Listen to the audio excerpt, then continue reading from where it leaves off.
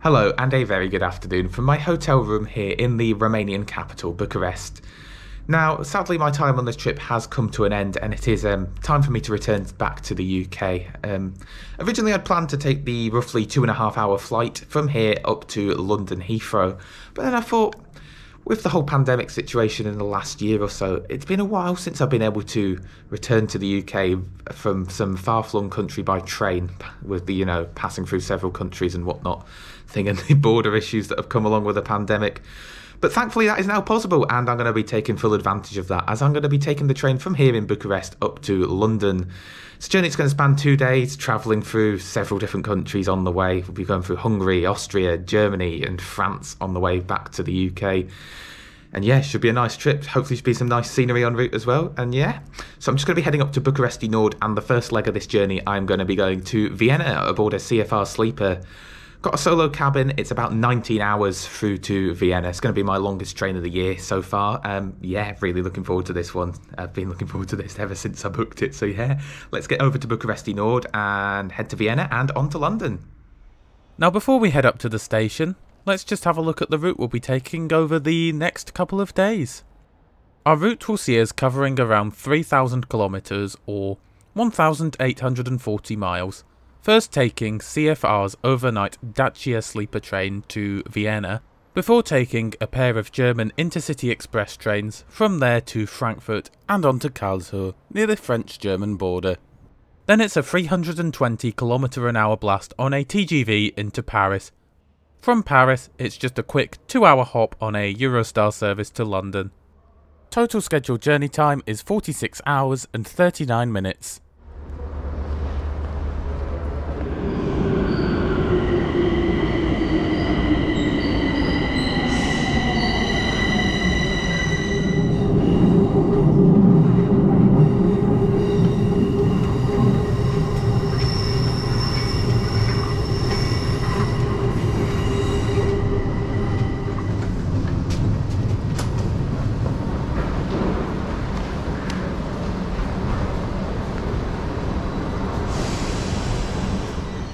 Our mammoth journey starts around lunchtime at Gara Bucuresti Nord, or Bucharest North Railway Station, which is the Romanian capital's main station, with it originally opening back in 1872. While perhaps in a bit of a need of some refurbishment works, I found the station to be pretty pleasant overall, with there being plenty of shops and takeaways at your disposal. Now, being semi-open to the elements, the concourse is quite cold on this early autumnal afternoon, but there is an enclosed waiting room should you wish to sit and warm up while you wait for your train.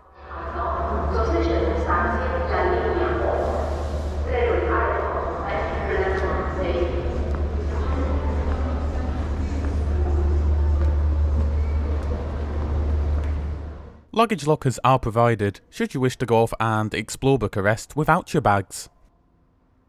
While it is possible, and I'd certainly recommend booking your ticket to Vienna online and in advance, no e-ticketing is offered on this route, or at least I wasn't offered it, so you have to go and pick up your ticket from the ticket office before your train departs.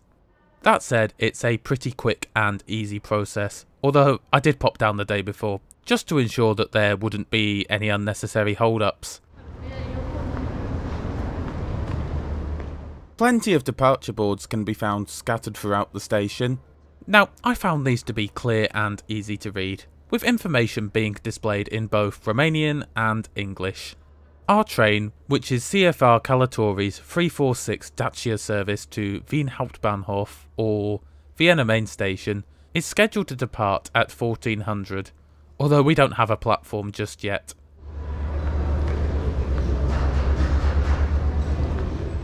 Oh, also, can we all just take a moment to appreciate the jingle that they play here before each announcement?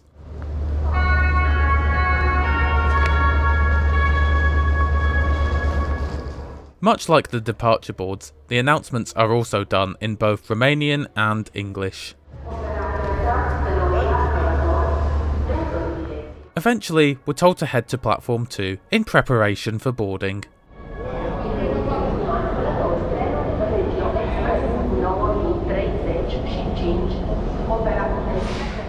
On the adjacent platform waits an Astra Trans Carpatic service. Astra Trans Carpatic are one of Romania's seemingly numerous private rail operators, who compete with the national operator CFR Călători. Anyway, our train is eventually shunted in from the depot around 20 minutes prior to departure. The rear three coaches will not be coming with us to Vienna, but rather will split with us along the way and head to Coșlariu, a small village in the centre of Romania.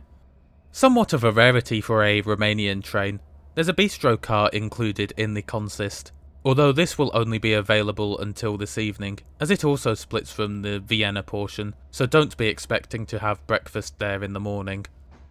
The Vienna portion consists of four coaches, made up of two second class seated coaches, a couchette car, and a sleeping car. We'll be travelling in the latter today, and I've booked a private cabin for tonight's journey.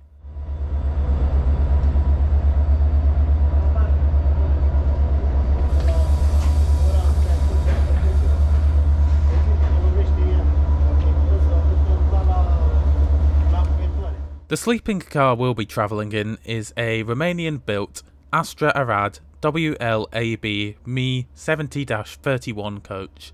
While I'm not exactly sure when they were built, they were apparently the newest type of sleeping car to operate in Romania, and they certainly look much more modern than the coach I had on the sleeper down from Cluj-Napoca a few nights ago.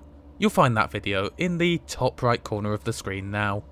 Haulage is initially provided in the form of a CFR Class 40 electric locomotive. After checking in with the friendly host, you'll be granted access to the car.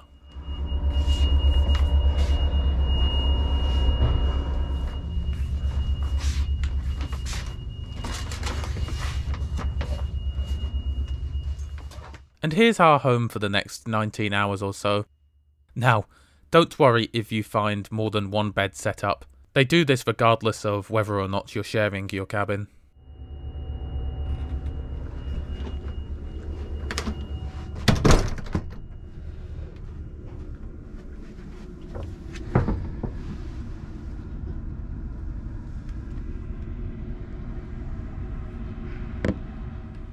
And we depart Bucharest bang on time at 2 o'clock. Scheduled journey time to Vienna will be 19 hours and 21 minutes.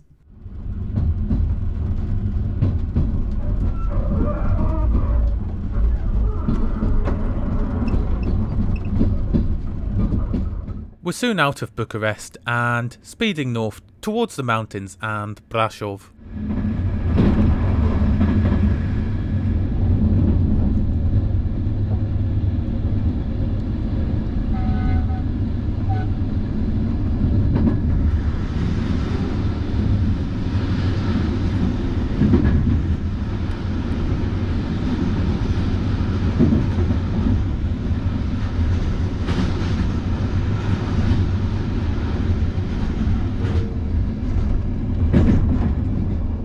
We eventually arrive at the foothills of the southern section of the Carpathian mountain range. There should be some rather impressive scenery in store for us over the next few hours.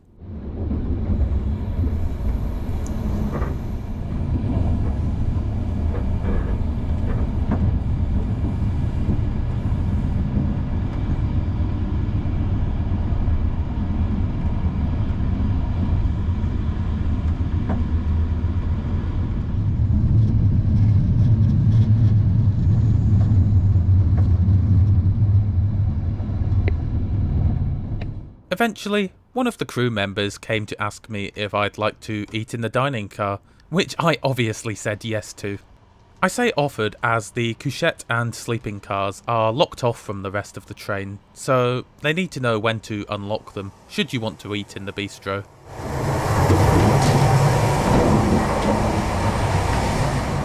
Now, the coach behind us is the couchette car. I'd say this is the best option if you're travelling on a budget, as while you will be sharing with strangers, you'll at least get somewhere to put your head down for the night. A place in a six berth couchette will only set you back around 255 lei, which is only around a quarter of what I paid for my private cabin. More on the cost later in the video. Behind this are a pair of second class compartment coaches. Now, I had hoped to show you one of the compartments, but unfortunately, they were all occupied. Now, I wouldn't recommend travelling in one of these if you're on the train for much more than a few hours, as they're going to be much less comfortable and less secure than a sleeper or couchette.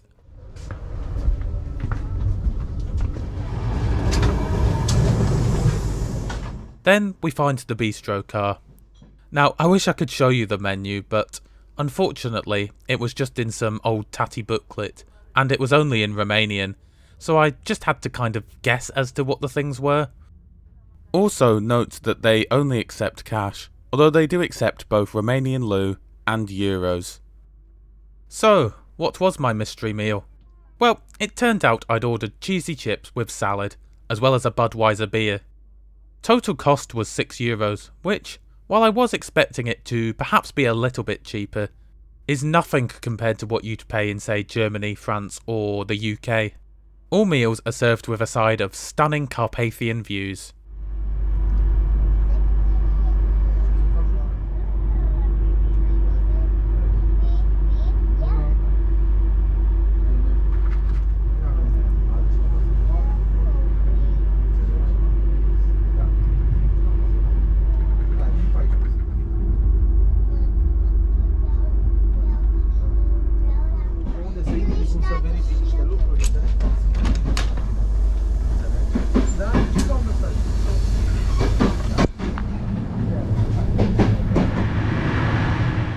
On the way back to my cabin, I decided to head and check out the toilets.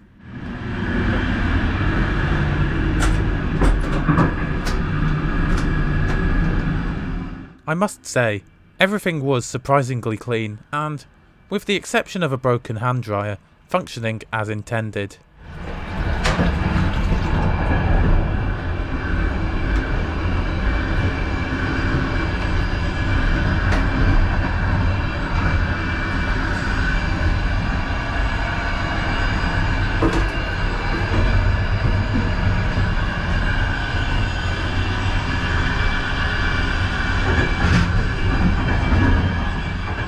Sleeping car passengers also have access to communal showering facilities, although you will need to bring your own towels along.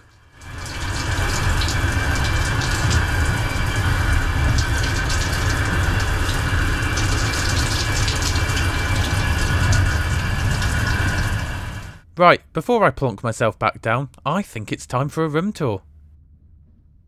The door can be double locked from the inside, and you can also ask the attendant to lock it from the outside should you wish to go to the bistro.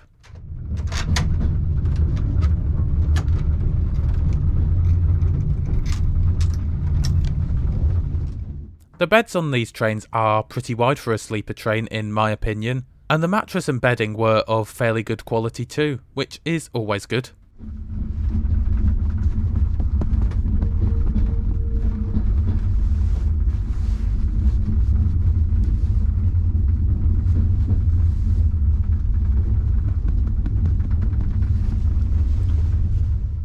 Reading lights are provided for the lower and upper berths, as well as controls for the main lights. Each berth also has access to a plug socket, so that you can charge your Pentium laptop and Nokia brick.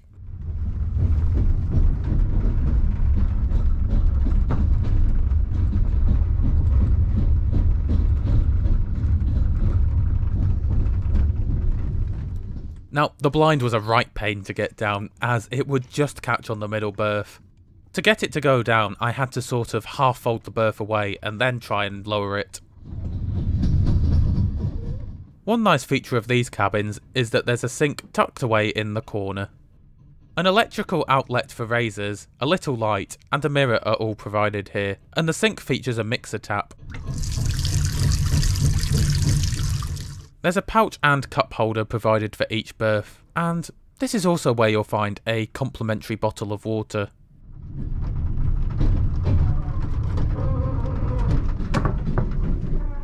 A bin can be found underneath the sink. Moving further round, there's a little table with a bit of extra storage. Above this, there's a rather big mirror, as well as some coat hangers.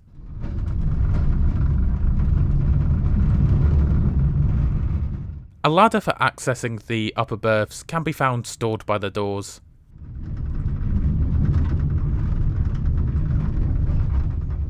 Above the door you'll find a whole host of controls, including a thermostat which I found to be pretty effective, a call button to summon the attendant, more controls for the main lights, volume controls for the PA system, and a little night light.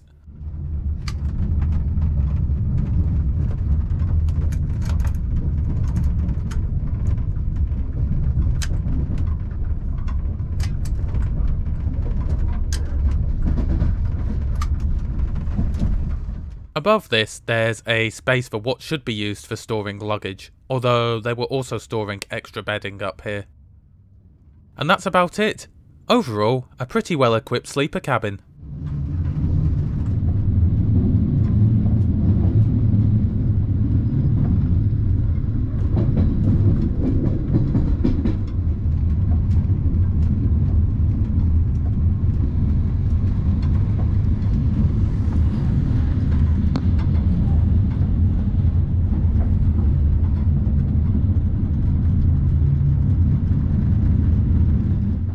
By about 4 o'clock, we find ourselves approaching Brasov.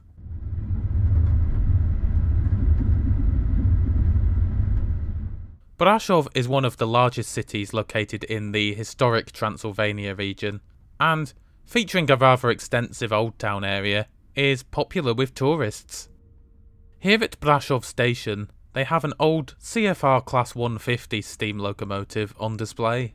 I believe this particular example was built in 1941.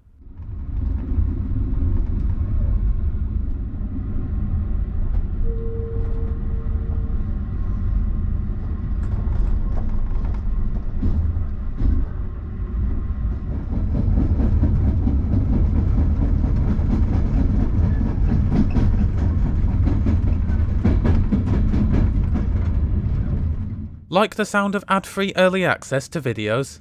If yes, be sure to check out our Patreon and channel members pages to get this for as little as $1 a month.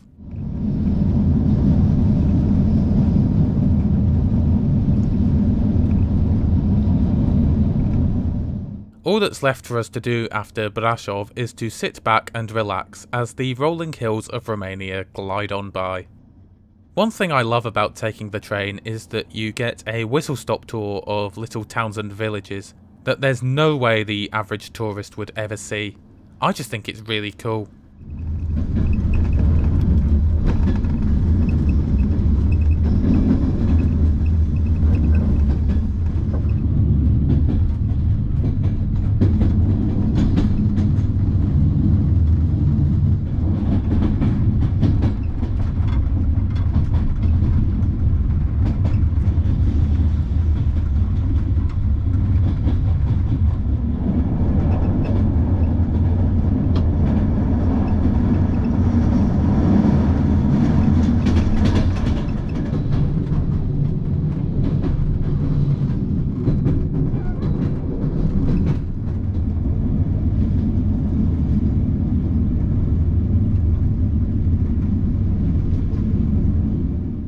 Eventually, the sun begins to set as we continue towards the Romanian-Hungarian border.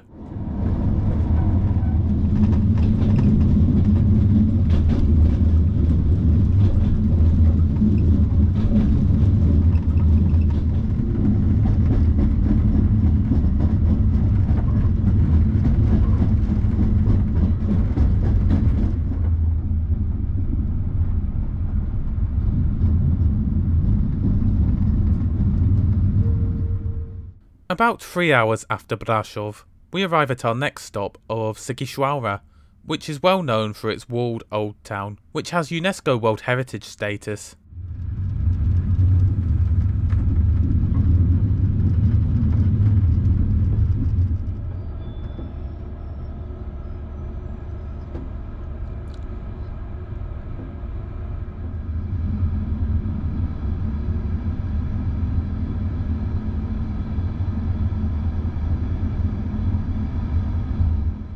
With there now being very little to see out of the window, I decide to try and grab a few hours of sleep before we have to wake up for the border crossing. As Romania isn't part of the Schengen zone, my passport will need to be checked both as we leave the country and as we enter Hungary.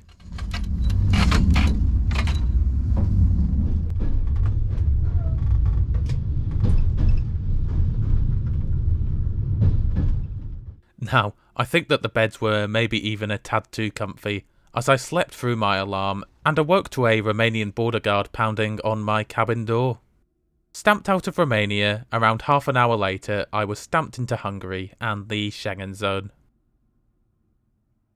I then next awoke at around 5am to find that we were in Budapest. Note that the train reverses direction here. Also, don't forget that we're now on Central European time, which is one hour behind Romania. We're treated to a lovely sunrise as we continue on west towards Austria and Vienna.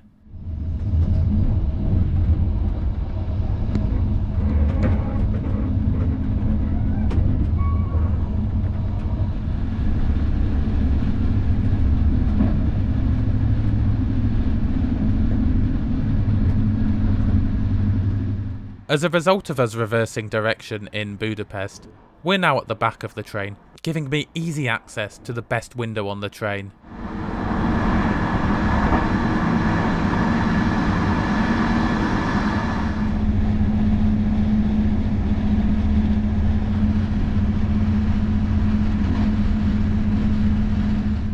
We eventually arrive in the city of Győr, which is known for its ties to German car manufacturer Audi.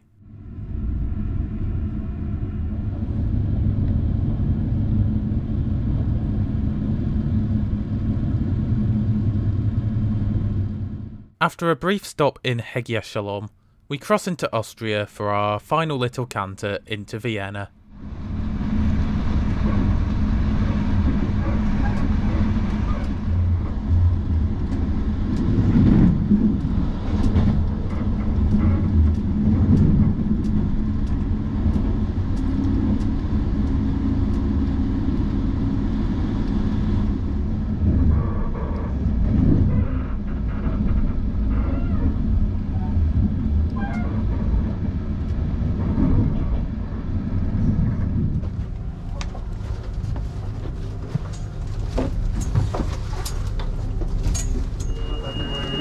Thank you.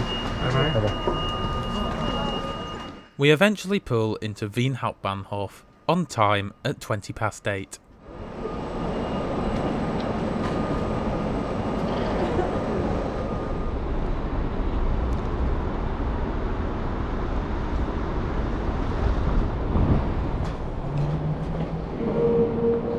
Liebe Fahrgäste, willkommen für Sie. Bitte informieren Sie sich rechtzeitig. Once here in Vienna, it's possible to use my sleeper ticket, or indeed the first class ticket I've got for my connecting train to Frankfurt, to access the ÖBB first class lounge. Much like the rest of the station, it's very modern and uplifting, with a pretty decent selection of drinks and snacks offered here.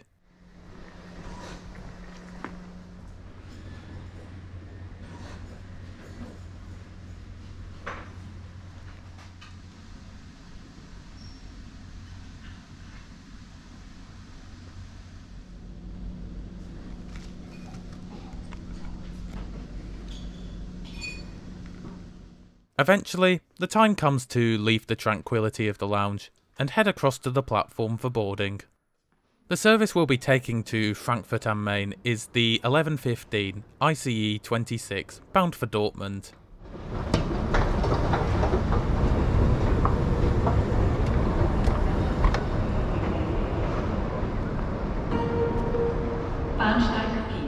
The six hour journey through to Frankfurt will be aboard this ICE-T set. While capable of tilting by up to 8 degrees, it is the least E of Germany's high speed fleet, having a top speed of 230 kilometers an hour or 143 miles an hour.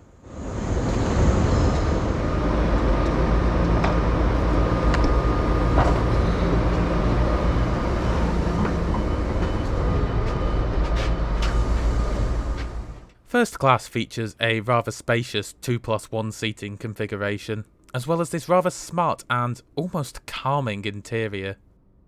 Unfortunately, I'm going to be stuck in a bay of four today, as the cheapest fare that I could find was through Trainline, who don't let you pick your seat. Not great considering that I'm travelling alone on what is set to be a full train today.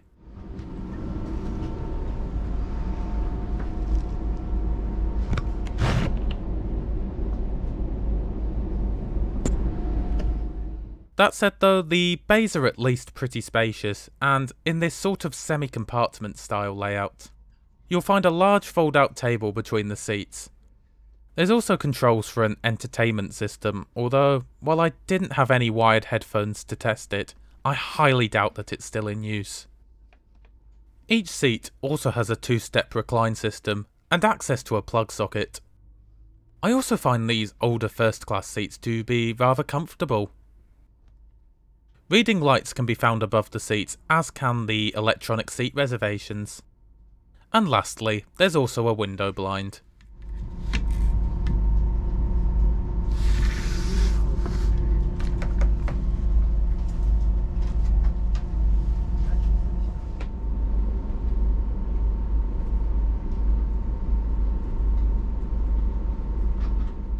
And we depart Vienna on time at 11.15 for the 6 hour and 21 minute long journey to Frankfurt.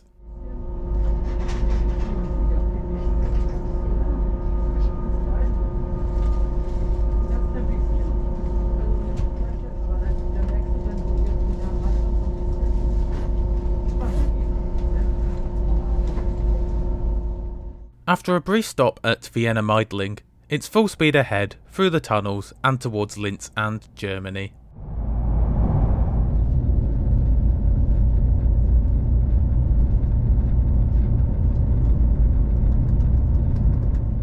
Shortly after departing Vienna, the crew came round offering coffee. Now, these aren't included in the price of your ticket, but I've always been a big fan of Deutsche Bahn's frothy cappuccinos, so I just couldn't resist having one.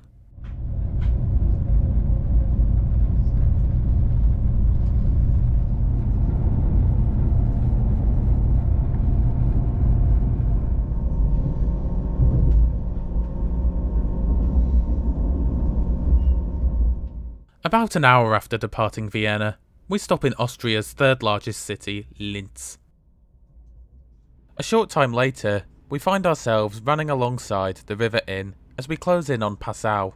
Germany is now only on the other side of the river. We eventually cross the Inn, subsequently leaving Austria and entering Germany. A few moments later, we arrive at Passau Hauptbahnhof, where we crash into, sorry, I mean couple with another unit.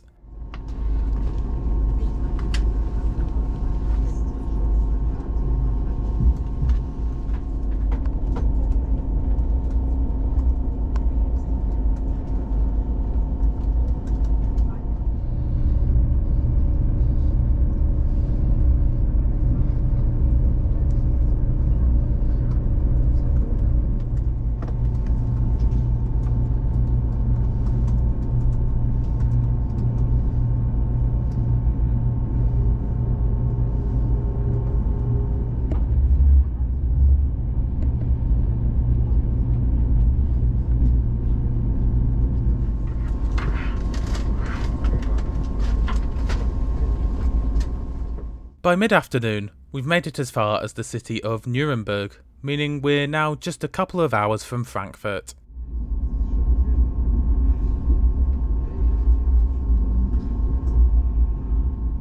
Okay, let's go and see what else these ICE-T trains have to offer.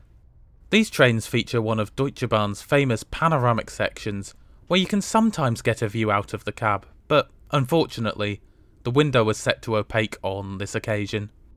The front one and a half coaches of this unit are where you'll find first class.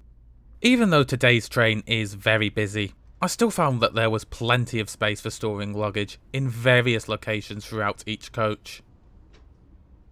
The ICE-Ts also feature a board restaurant towards the middle of the train.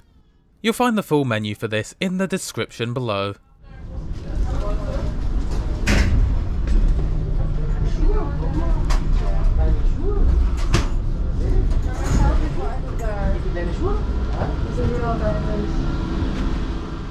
Much like first class, second class is also absolutely packed. That said though, I've travelled on this route in second class before, and I still think that it's a fairly comfortable option.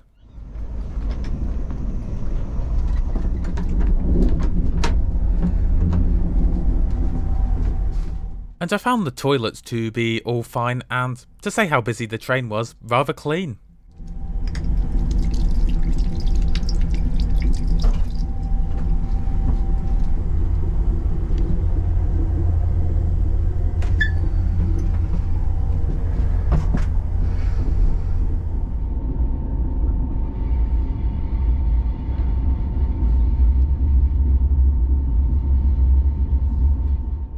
Around an hour out of Frankfurt, we arrive in the city of Würzburg.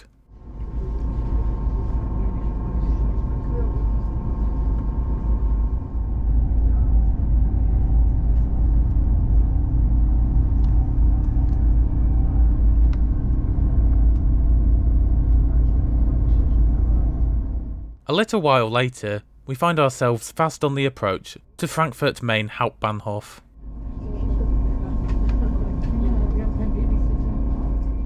We soon cross the River Main, taking us into central Frankfurt. with us until Frankfurt Airport. We eventually pull into the rather beautiful Frankfurt Main Hauptbahnhof, just a few minutes late, at 20 to 6. von Gleis 13 und RB nach Neuwied über Frankfurt Höchst. Abfahrt 17.53 Uhr von Gleis 23.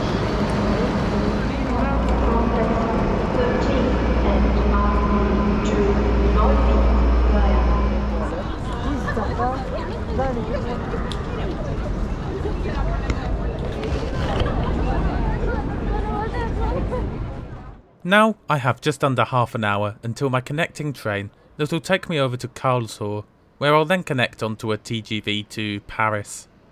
Now, for some reason, it took me ages to find out which platform my train would go from, which, rather comedically, turned out to be the very same platform that I'd arrived in on from Vienna.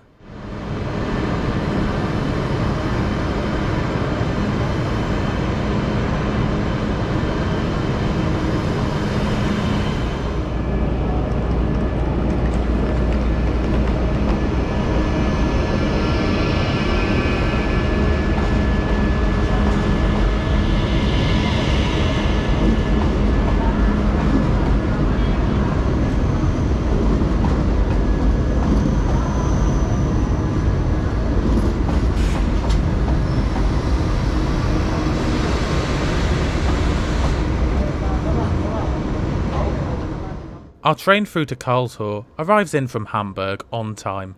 The service we're taking is ICE 79, which is bound for Zurich in Switzerland. This will be operated by one of the shiny new ICE 4 sets, with this particular set being capable of 250 kilometers an hour or 155 miles an hour.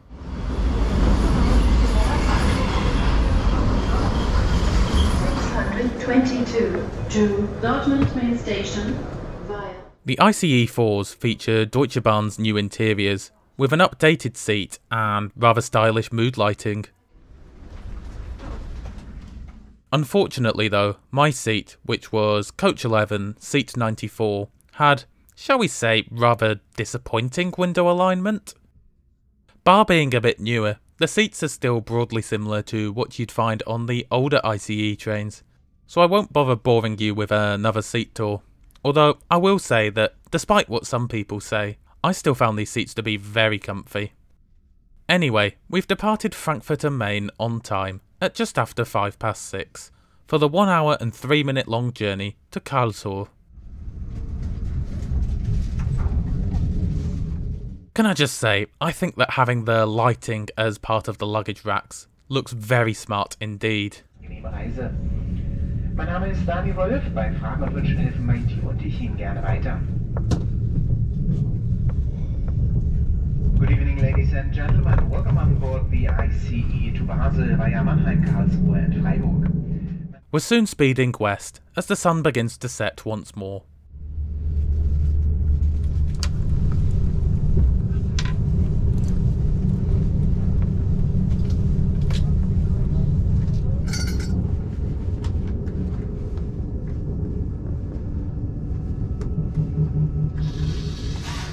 Our only stop en route to Karlsruhe is in the city of Mannheim, which is of course located on the Rhine. Wir erreichen jetzt Mannheim und der Ausstieg für Sie in. Schönen guten Abend, meine Damen und Herren. Ich begrüße Sie bei uns hier im ICE nach Basel und wünsche eine angenehme Reise.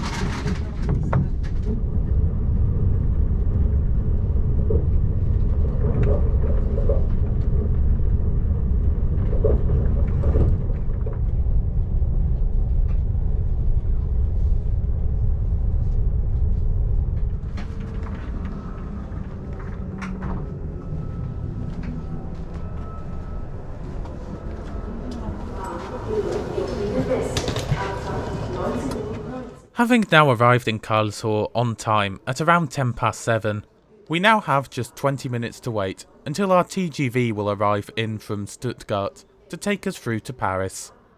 The station here has a pretty good selection of shops and as I hadn't really eaten a great deal since the lounge in Vienna, I took this opportunity for a quick refueling stop before heading up to platform 6.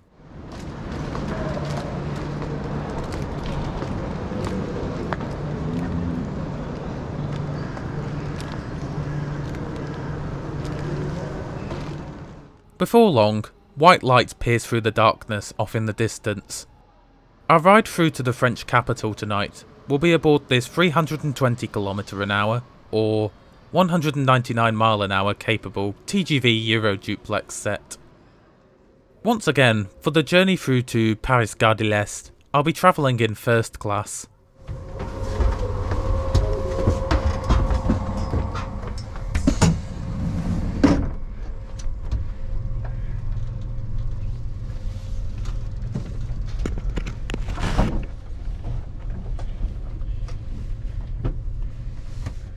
We end up departing Karlsruhe a few minutes late at 25 to 8.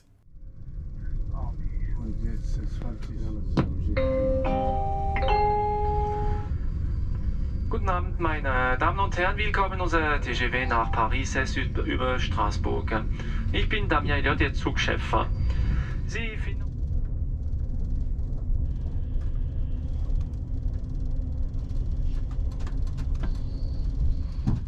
Despite being a bit dated, this is still one of my favourite first class seats out there. While the legroom is okay, it's the seats themselves that I love. They're like big old armchairs, and I can assure you that you're not going to be uncomfortable in one of these. Also, the seats recline is controlled electrically, which I think is rather neat.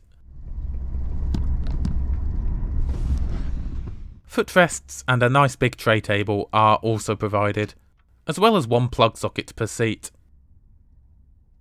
Around 40 minutes after departing Karlsruhe, we arrive in Strasbourg, our first stop in France, meaning that we've now rather impressively been in five countries in the time since the clock struck midnight. This will also be our last stop before Paris. From Strasbourg, we join the LGV Est, meaning we can run at high speed pretty much all the way to the suburbs of Paris. First class on this evening's service was thankfully rather quiet. In terms of luggage storage, the overhead racks are really rather small, but there are larger ones dotted throughout the saloon and in some of the vestibules. After grabbing a quick drink from the bar, again, full menu in the description below, I moved to an empty bay of four and grab a bit of shut-eye.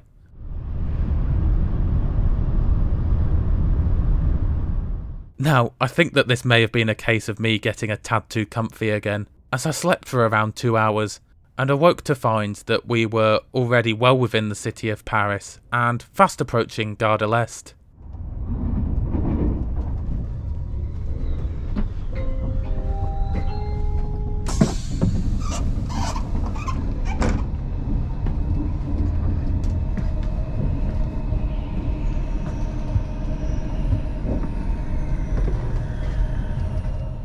We actually end up pulling into Gare de l'Est around 5 minutes early at 20 past 10.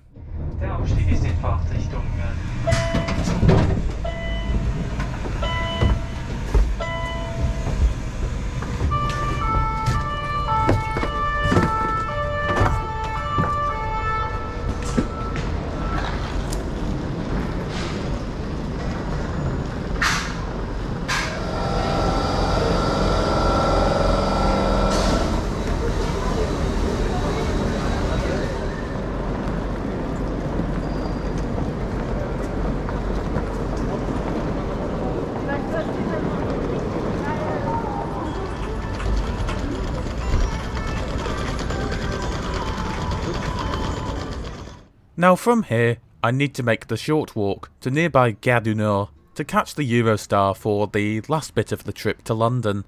However, this doesn't depart until the morning, so I've booked a nearby hotel for the night. The cheapest hotel that I could find in close proximity to Gare de l'Est was an Ibis. It was around 96 euros for the night, which, by Paris standards, is not too bad at all.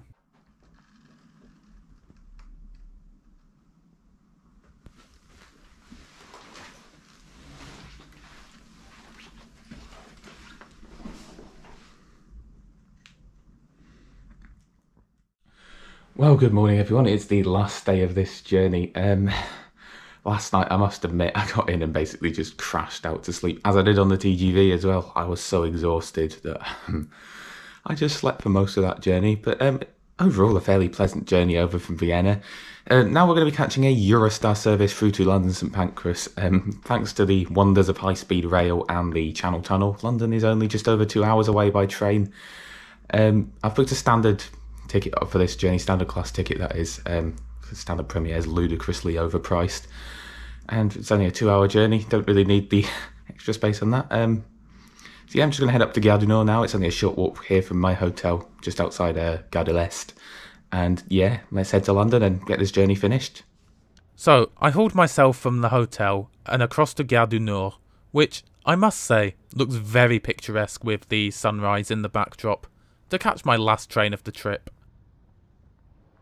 Despite it already being 20 to 8, the station was unusually quiet, and if you didn't know otherwise, you certainly wouldn't have thought that this was Europe's busiest railway station.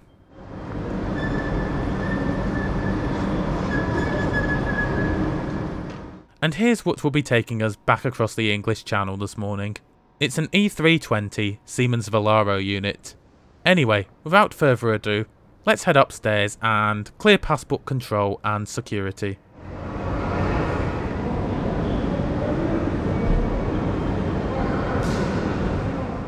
Now, I've always found security to be a bit of a faff on Eurostar, and they were seemingly more concerned with checking, double checking, and then triple checking that I'd turned off my camera, as opposed to actually checking what I had in my bag.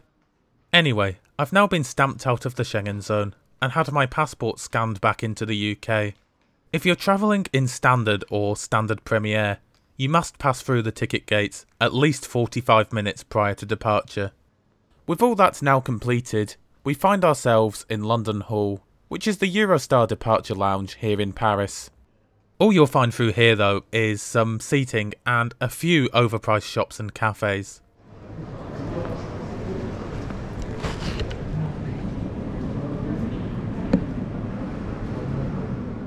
Boarding commences at just before 10 to 9 for an 0913 departure.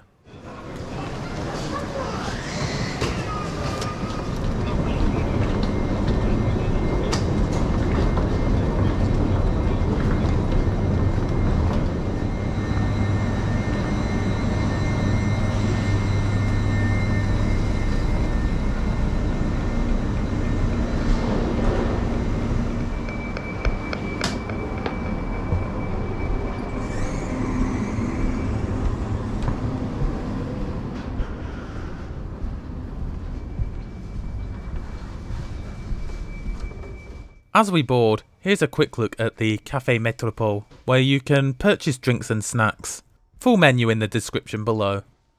Standard class is laid out in a 2 plus 2 configuration, with both Standard Premier and Business Premier featuring a 2 plus 1 layout.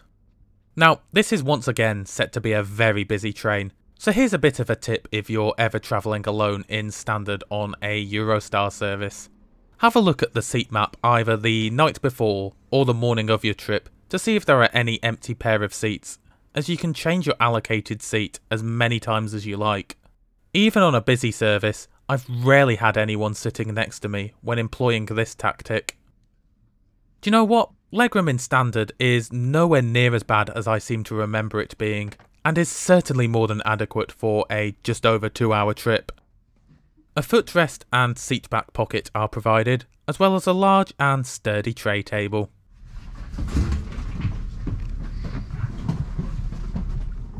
These seats do offer a bit of recline, and both an EU and UK plug socket can be found per pair of seats. I find that the seats themselves are very good too, being really rather comfortable. And lastly, a window blind is also provided.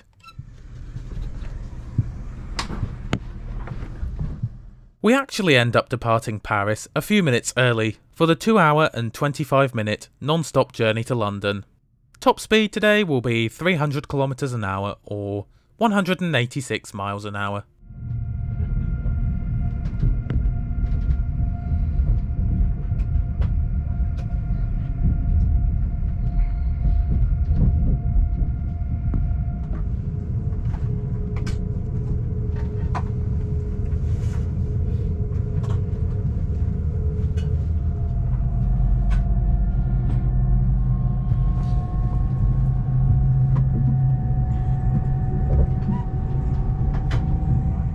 And I will give electric sockets in business premises and standard premiers so as to use force. We also remind you that smoking is not permitted on board. It's not long before we're out of Paris and speeding north through the morning mist towards Lille and the Channel Tunnel. Once underway, I decide to head to the cafe and grab a much needed cup of coffee and a bottle of water. For the last time in this video, it's time for a toilet tour. While the sink area was all fine, the toilet wouldn't flush, which, needless to say, wasn't great.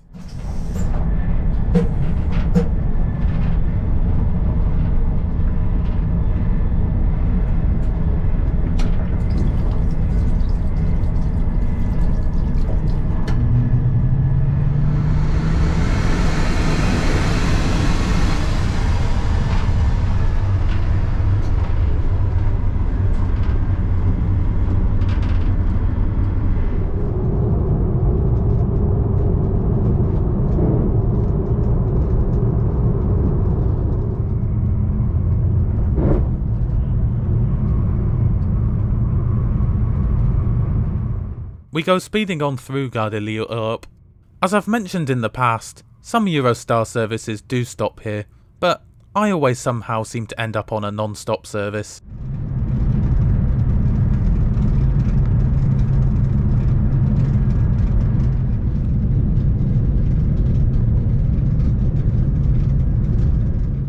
Not long later, we find ourselves slowing as we approach the Channel Tunnel.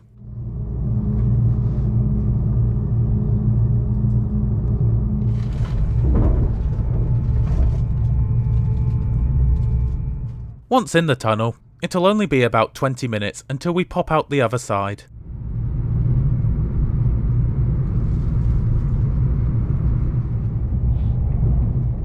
We exit the Channel Tunnel at Folkestone and join the southeastern end of High Speed 1, which will take us through to London.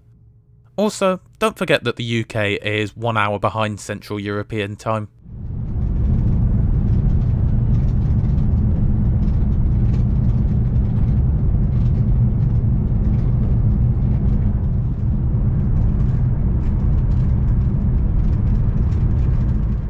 As we go speeding on past the traffic on the adjacent M20, I think it's about time I summed up the experience.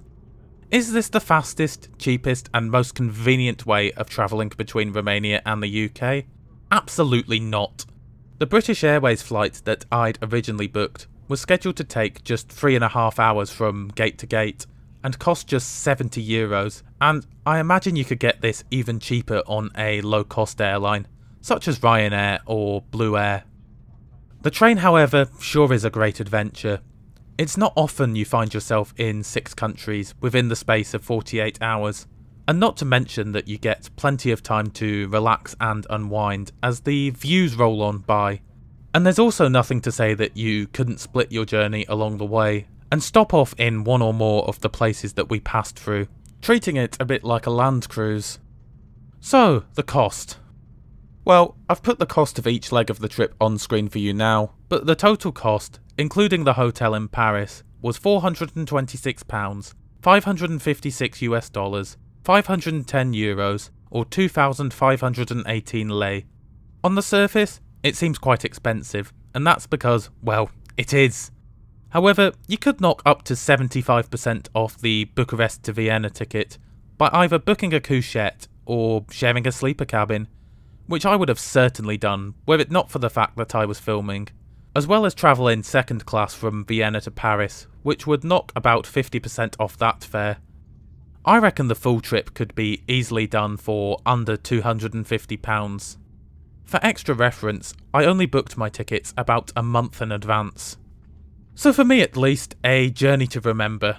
But what did you make of the whole experience? Do let me know this and whether or not you'd consider travelling from Bucharest to London by train in the comments below.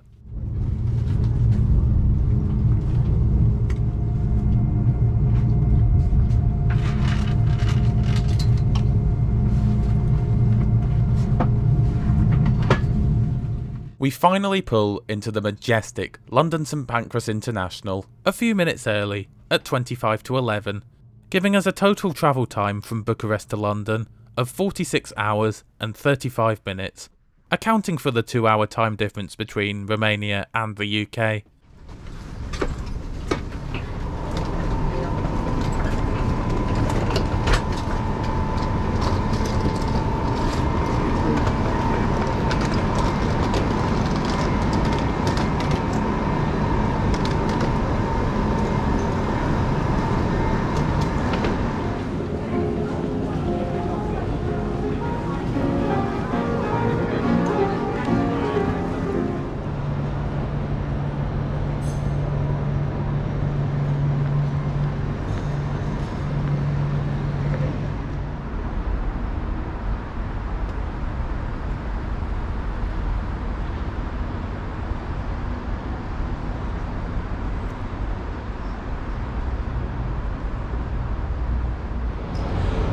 There we have it, less than 48 hours after leaving Bucharest and I am in London. Now I'm sure it wasn't the fastest and by no means the cheapest way of getting between the two cities. I mean flights are like, I don't know, I've seen them going for about 30 quid on British Airways and take about two and a half hours, but it was sure of heck more of an adventure and I, I certainly enjoyed doing it. Anyway, I do hope you enjoyed the video. If you are new to the channel, be sure to subscribe and enable notifications as I publish new trip reports every Friday. Thanks a lot for watching and I will see you next Friday.